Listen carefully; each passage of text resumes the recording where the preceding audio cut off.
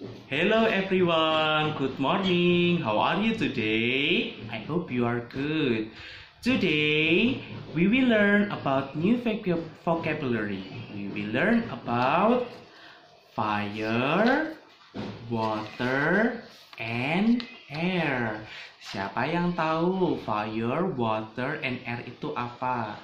Betul sekali, kita akan belajar tentang api, air, dan udara sesuai tema pembelajaran kita pada minggu ini. Nah, sekarang Mr. Fian akan membantu anak-anak untuk menyebutkan air, api, dan udara dalam bahasa Inggris. Listen carefully. Fire. Fire. Water, water, air, air. Nah, sekarang coba anak-anak menirukan bersama-sama Mr. Fian ya. Repeat after me please. And louder please. Fire. Fire. Good. Water. Water. Nice. Louder please. Air. Air. Oke, okay. fire. Apa itu fire? Fire adalah api. Nah, kemudian Mr. Tian tadi juga menyebutkan water. Nah, this is water. Water apa anak-anak? Kita lihat gambarnya. It has blue color and it's flowing. Ya, betul sekali. Water adalah air. Setelah itu, kita ada gambar air. Air. What is air? Apa itu air?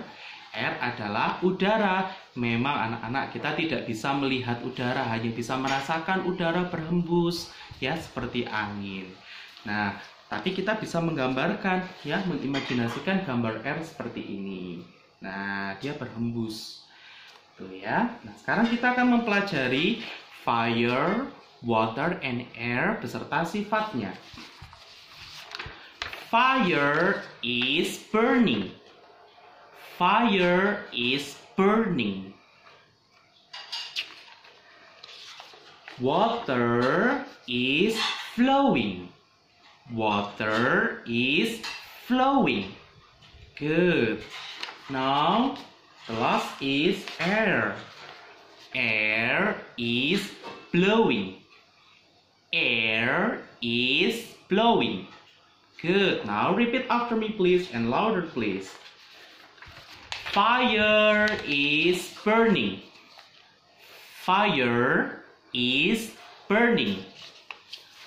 Water is flowing. Water is flowing. Air is blowing. Air is blowing. Good. Nah, oke okay, anak-anak, untuk mempermudah kalian mempelajari fire, water, and air, Mr. Fian punya lagu seperti ini. Nah, nanti setelah Mr. Fian menyanyikan, anak-anak mengerjakan tugasnya yaitu merekam kalian nanti menyanyi, nanti orang tua akan merekam kalian ketika bernyanyi lagu ini.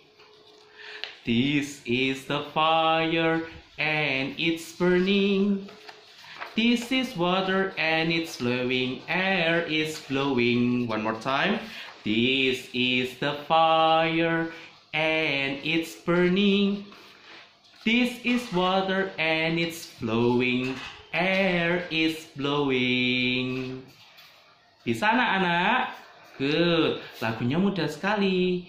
Nah, nanti anak-anak silakan menyanyikan lagu yang sudah Mr. Pian ajarkan ini supaya kalian lebih hafal untuk menyebutkan air, api, udara dalam bahasa Inggris juga beserta dengan sifat-sifatnya. Minta tolong bantuan mama dan papa untuk merekam ya. Jangan lupa setelah eh, anak-anak uh, mengerjakan tugas untuk selalu mencuci tangan. Oh iya anak-anak lebih bagus lagi anak-anak menggambar seperti ini ya. Mr. Van sudah mencontohkan. Nah, menggambar dan mewarnai seperti ini, menggambar fire, water, and air. Kemudian ditunjukkan sambil menyanyi ya. Gambar sekreatif mungkin. Buatlah gambar sekreatif mungkin. Boleh minta bantuan mama atau papa, boleh mengerjakan sendiri. Anak-anak pasti bisa. Nah, sekali lagi ya. Sambil menunjukkan gambar yang sudah anak-anak buat, menyanyi lagu ini. This is a fire and it's burning. This is water and it's flowing, air is blowing. Bisa anak-anak, nanti Mr. Bell akan menyertakan syairnya supaya anak-anak bisa menyanyi. Oke, okay. thank you very much. Bye-bye. See you later.